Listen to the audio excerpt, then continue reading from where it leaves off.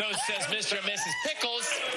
Hey! Just ask those pickles. Um, anyway, coffee lovers gain a thousand steps a day, but they get a little less sleep. So, would you have rather have the more steps a day, the more exercise, and cut your sleep, or get your sleep and not take the extra steps? I'd take the steps. I